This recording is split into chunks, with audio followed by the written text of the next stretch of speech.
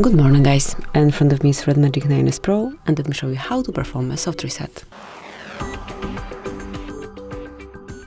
So basically all you have to do is tap on power button along with volume up button. So just tap and hold them together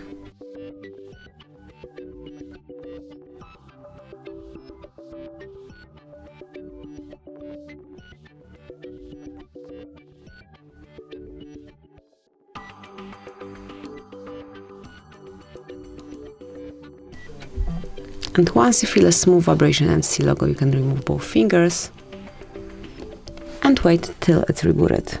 Now mark uh, power button to reboot. Joy unlock pattern and that's it.